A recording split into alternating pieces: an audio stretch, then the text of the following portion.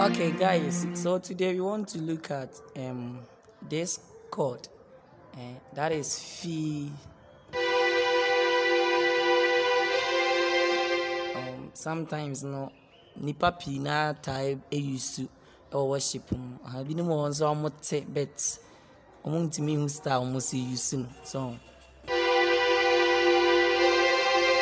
so that is do re and then uh, fee then so you understand? But when you are praying it you do it like this. So you pray together. Do re fee together like this. Then you remove this hand to this. The other hand from fee to so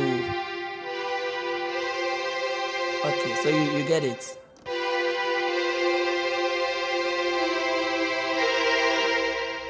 so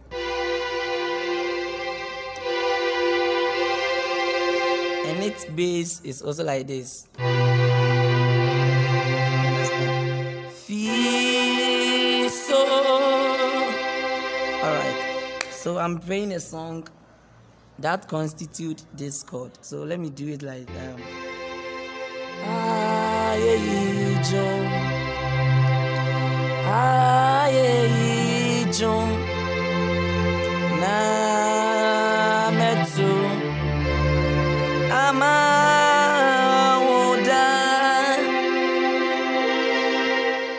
You get it? Aye, John. Aye, John.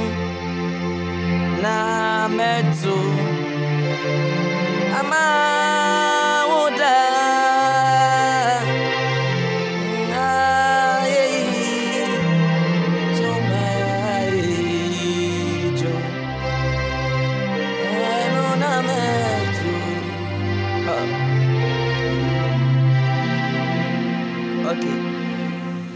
So that's it. Um, and take note, it is not so, but it is um fee chord. Okay, but sometimes you can use to replace uh, so chords that is higher. All right. So a lot of songs they use this chord. Eh? Ebraye womuin emu yesu.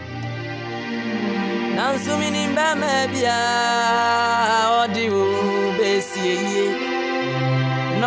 ɔbɛkye wo nkwa abere nyinaa ɔdeɛ wo bɛsere oh. and also when you are ending the song do it. I've already taught you so. So tire all right. God bless you. If you want to call my number or if you want to whatsapp danny my telephone number is 0541 160223 god bless you. Stay safe